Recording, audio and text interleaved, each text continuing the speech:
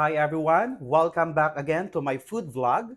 So for today's video, gagawa naman tayo ng uh, spring rolls na gawa sa tinapa or any kind of leftover na pritong isda from your tira-tira sa inyong kusina. So, uh, dadagdagan pa natin yan with a special Vietnamese dip. So this spring rolls is Vietnamese inspired recipe. So for the ingredients, let's start. Uh, let's start with the uh, tinapa flakes or any kind of uh, isda na leftover nyo from the fridge or ulam nyo kahapon. Diced mushroom, 1/4 kilogram of Good Life premium first class sotanghon or any brand like Long Cow. Pero ito kasi yung uh, available sa grocery namin sa area namin. Diced carrots, minced garlic, minced onion, parsley chopped uh, cilantro, or wansoy in English. If you don't have, you can substitute Chinese celery or celery, black pepper, salt, sugar, MSG, patis, cooking oil. Okay, meron po dito akong uh, hot water, boiling water. Uh, isubmerge natin yung ating sotanghon for around 5 minutes or until cook. Maluluto po ang sotanghon na binabad lang po sa hot water, don't worry. Maluluto po siya. Then, takpan. Then, balikan natin after 5 minutes. Saka natin siya i-drain and gupit-gupitin natin siya. Uh, proceed muna tayo for the sauce. So, while waiting for the sotanghon na mag-soften, I have here store-bought uh, sweet chili. Uh, may mga brand din to, Mother's Best and Jufran ang nakuha ko sa grocery. So, uh, I have patis, water, sugar, and cilantro na na chop. Kasi uh, Vietnamese inspired tayo. Add ko lang yung mga ingredients. Ayan. Then, uh, hindi na po kailangan lutuin ito. So, haluin lang natin. So, meron na tayong instant Vietnamese dip. Ganun lang po siya kadali. Yan.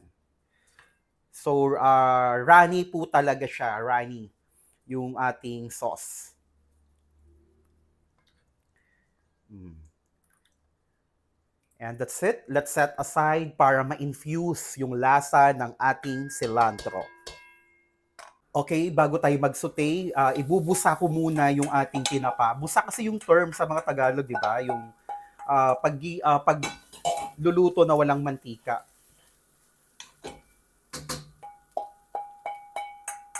uh, mas lalo kasing magiging pino yung tinapa pag binubusa po siya. Pa- tapos para siyang dumadami. Ayan. So, isudsod lang yung uh, kahoy na sandok sa ilalim.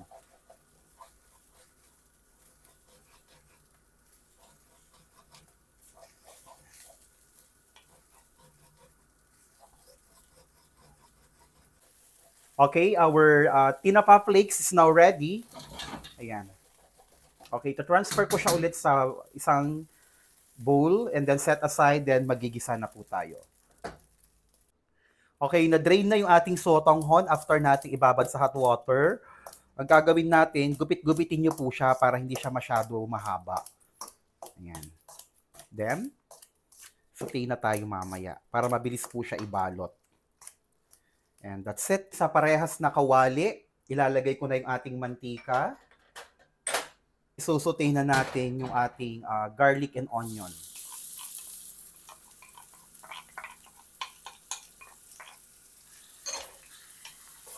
Hanggang maging translucent yung ating onion.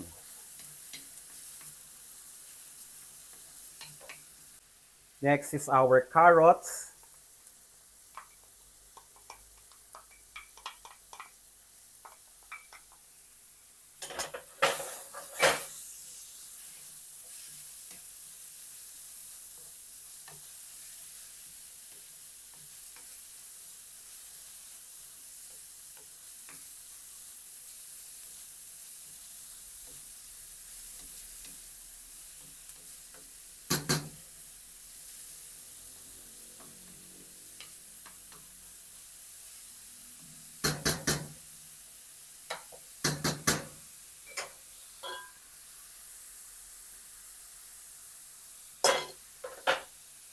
Next is our mushroom.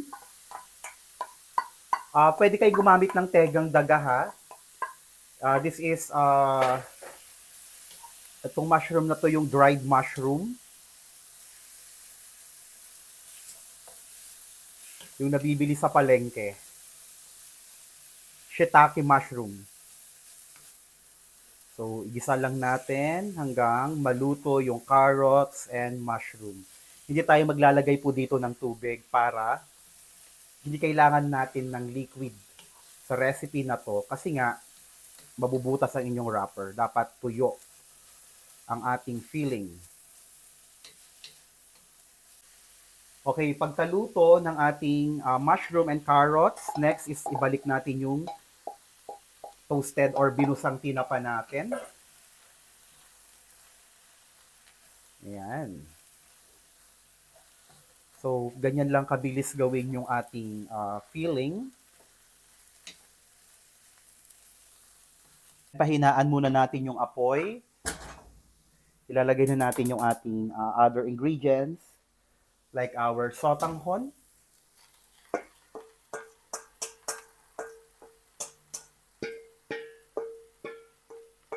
Then our seasoning para maganda yung pagkaka-blend.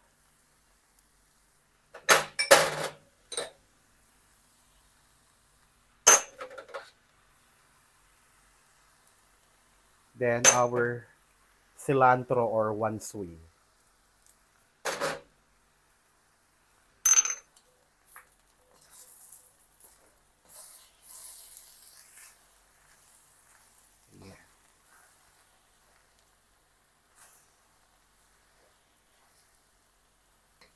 Wow. Napakasarap. Amoy pa lang. Uh, I love cilantro. Favorite ko po ang cilantro. Nilalagay ko sa salad, dipping sauce. So, yung uh, binabad nating sotanghon, of course, may water pa rin yan. Kaya kailangan natin medyo matuyot natin siya. Dami po ha, one-fourth lang yung sotanghon, oh.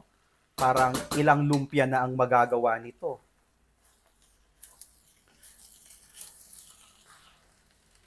And that's it. Let's set aside, cool it down bago tayo mag-wrapper, magbalot. After uh, cooling it down, our lumpia filling, magbabalot na tayo. Ito yung mga wrapper namin sa probinsya So may nabibiling magagandang wrapper sa supermarket. Malayo kasi kasi kami doon. May supermarket naman kami dito, Save More. Pero hindi kompleto. Pupunta pa ako sa isang city. So pa- palengke wrapper yung gamit ko. Pagtsagaan na lang. Sa ibang bansa, ang gaganda ng quality ng wrapper. So not too much. Pero it's up to you pa rin kung gusto niyo yung malaking lumpia, spring rolls. But me, uh, I don't like super big, nakakaumay. Mas maganda yung maliliit, mapapayat. Then, uh, sealed it with water. Or egg white. Ako, water is okay na. Roll. Then, roll. So, uh, daganan nyo lang yung pinakadulo para hindi siya bumuka kahit matuyo siya at mag-sealed. Okay, another one for demo. Actually, uh, ito para na rin po siyang pansit na may tinapa. Pwede siyang gawing pansit. I-julien's cut nyo na lang yung uh, carrots. Pansit na po siya. Masarap.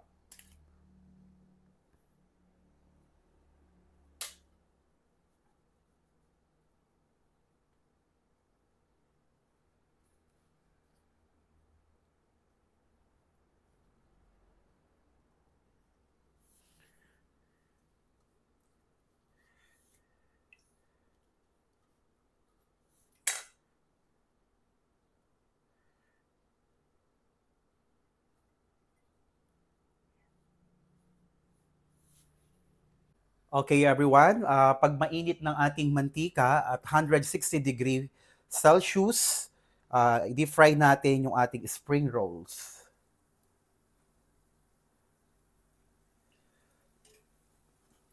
Mabilis lang po ito maluto kasi nga uh, luto na yung ating uh, what I mean, luto na po yung mga filling natin.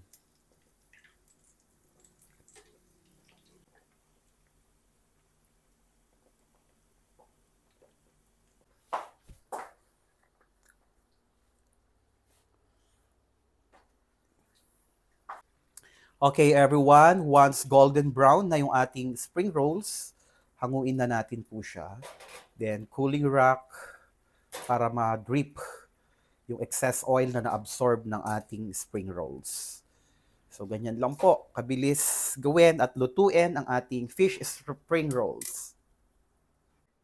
Okay everyone, our spring uh, fish spring rolls with Vietnamese dip ready to serve na po. Ipi-plating natin siya. It's up to you kaano yung siya ipre- uh, i-present for potluck or for a party. Yan. So sa akin, ganito. Hinihiwa-hiwa ko po siya, then sauce, dipping sauce sa gitna. Ayan.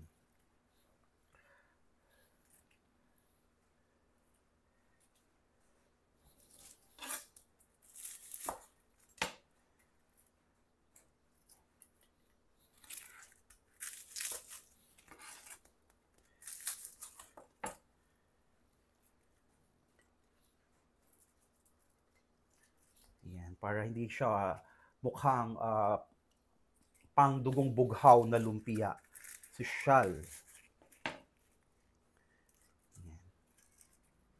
Para enticing tingnan.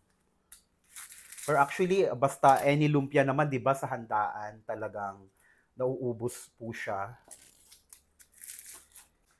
Okay, everyone, there you have it.